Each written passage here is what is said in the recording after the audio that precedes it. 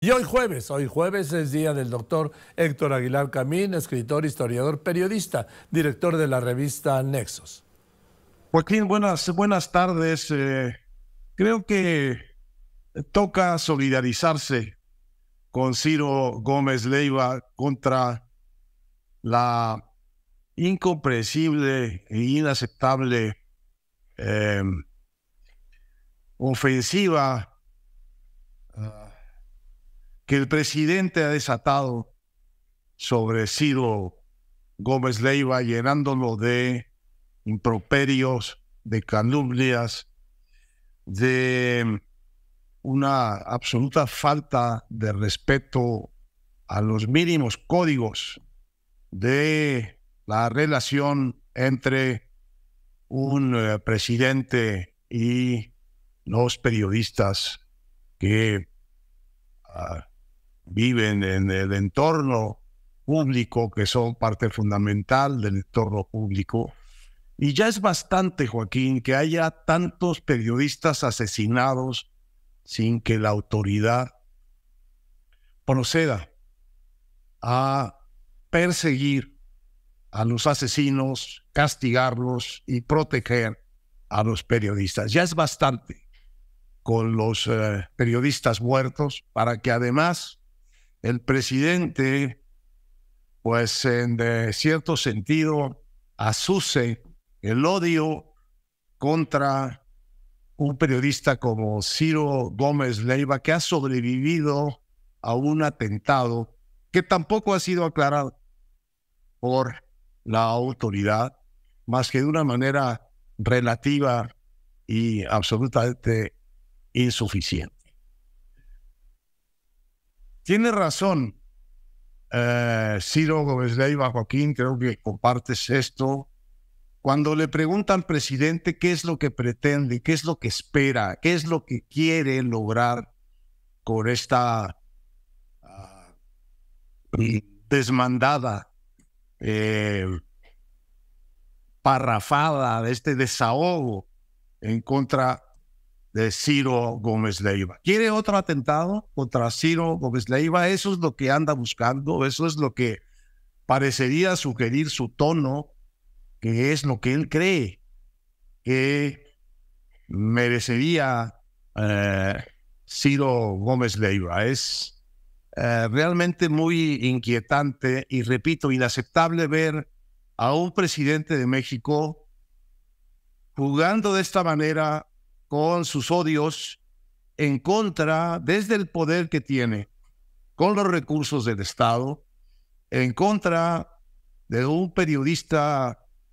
pues, eh, ejemplar en muchos sentidos, eh, en su generación y eh, también en la mía, que ha tenido un, trayecto este, extraordinario, pero que sobre todo ha sido ya sometido a un intento de asesinato eh, que falló porque el coche, la camioneta era blindada, porque los asesinos no partían de la idea de que estaba blindada la camioneta. Y si hubiera estado blindada, si Ciro hubiera vivido como deberíamos poder vivir todos en México, sin precauciones tan extremas como llevar viajar en un vehículo blindado, pues estaría muerto. Lo hubieran asesinado como a tantos otros periodistas que han asesinado.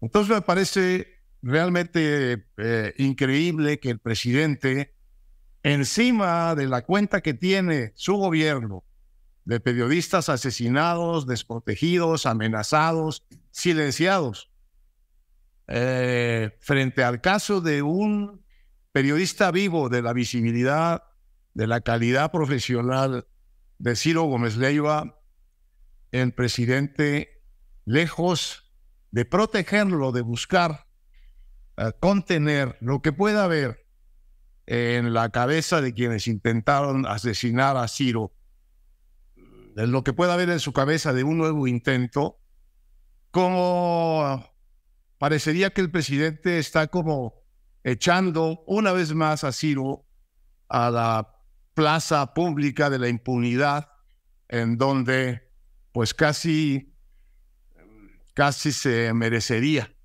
eh, otro, otro, otro atentado.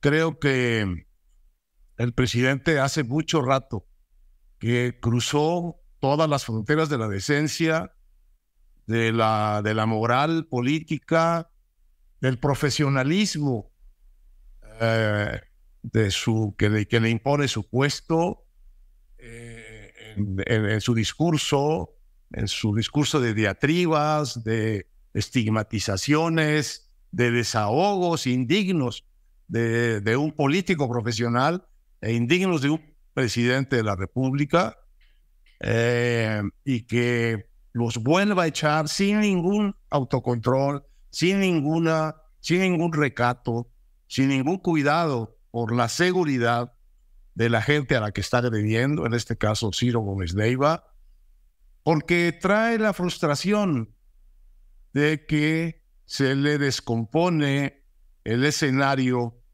de su sucesión que tenía en su cabeza perfectamente armado, porque no hay que olvidar que el origen de esta rabieta, más que rabieta, de este desahogo, eh, eh, digamos, inaceptable, por completo inaceptable, de un, de un mandatario, de un presidente eh, de México o de cualquier país. La razón de la rabia es, pues, que Ciro publicó una encuesta bien o mal hecha, eso no viene al caso, en la que parecía o se reflejaba, pues lo que todos estamos viendo, que Xochitl Galvez ha tenido un ascenso. Eh, yo no sé si por esos números, no sé si está bien hecha esa encuesta, pero todos hemos percibido, empezando por el presidente, que Xochitl Galvez es un fenómeno que va creciendo en la simpatía de los espectadores y está de los, de los votantes, de los ciudadanos, y está convirtiendo una elección que parecía resuelta para muchos eh, con facilidad en una elección competida. Esto es lo que está, esto es lo que está haciendo Xochitl Galvez, está volviendo competida una elección democrática en México. Eh, que esto se refleje en una encuesta parece agraviar al presidente de una manera inexplicable, lo suficiente como para a su vez desatar una cadena, un río de agravios en su muy abusiva eh, conferencia mañanera contra Ciro Gómez Leiva, hay que decirlo, poniéndolo otra vez, otra vez en la situación de vulnerabilidad en que ya estuvo Ciro y que permitió ese primer atentado contra su vida. Estamos hablando aquí de un presidente que no solo no defiende a los periodistas que han sido asesinados, no protege a los periodistas que han sido asesinados, no investiga esos asesinatos, sino que maltrata y pone en la picota a un periodista que no ha sido asesinado, pero que fue tratado de, asesinar, y en lugar de cuidarlo y de protegerlo, lo estigmatiza y facilita el flujo de odio, de rechazo hacia esa figura, repito, de periodista para mí ejemplar, además de muy querido amigo Ciro Gómez Leiva. Creo que es la hora de decir con todas sus palabras que esto que está haciendo el presidente linda con eh, el delito de la, del discurso de odio hacia un personaje que ha sido ya víctima de un intento de homicidio.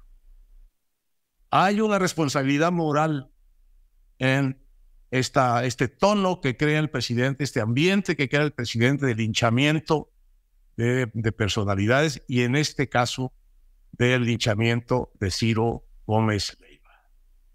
Eh, es buena la pregunta de Ciro y yo la suscribo y la repito. ¿Qué sigue, presidente, de esta diatriba contra Ciro Gómez Leiva? ¿Qué es lo que usted quisiera ver que sucediera? ¿Otro atentado contra Ciro?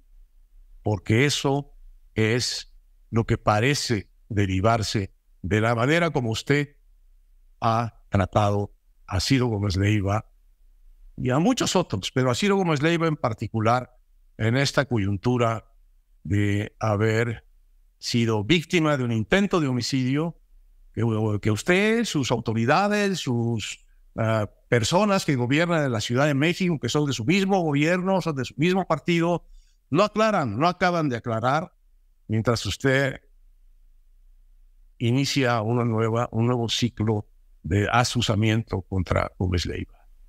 Eh, suscribo la pregunta de Ciro. ¿Qué es lo que espera usted, presidente? ¿Otro atentado contra Ciro Gómez Leiva? ¿Eso es lo que usted está buscando? ¿Es lo que está esperando? Porque eso parece. Joaquín, un fuerte abrazo. Así es. Ciro, querido, te mando un abrazo. Un abrazo y lo comparto con toda tu familia porque luego la familia se olvida, es la principal damnificada de todos estos embates. ¿Por qué? Pues porque vienen de un presidente de la República.